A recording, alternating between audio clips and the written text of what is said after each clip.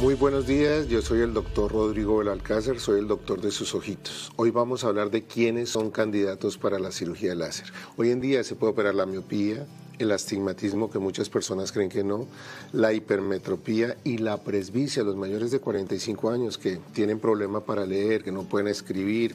La cirugía de láser es efectiva en el 95% de los pacientes. El 5% restante siempre mejora la visión. ¿Qué no deben hacer después de la cirugía para que ustedes tengan éxito en la cirugía? No piscinas, no jacuzzis, no agua de mar por tres semanas, no levantar pesos los hombres, las mujeres no maquillarse y cuando reanuden el maquillaje, por favor, completamente nuevo, porque todas ustedes guardan los maquillajes y no saben que en la máscara, en todos estos, en las sombras, crecen bacterias y hongos. Bueno, eso es todo por hoy. Si tiene alguna pregunta por sus ojitos, preocupaciones, por favor, no duden en escribirnos. Estamos para ustedes.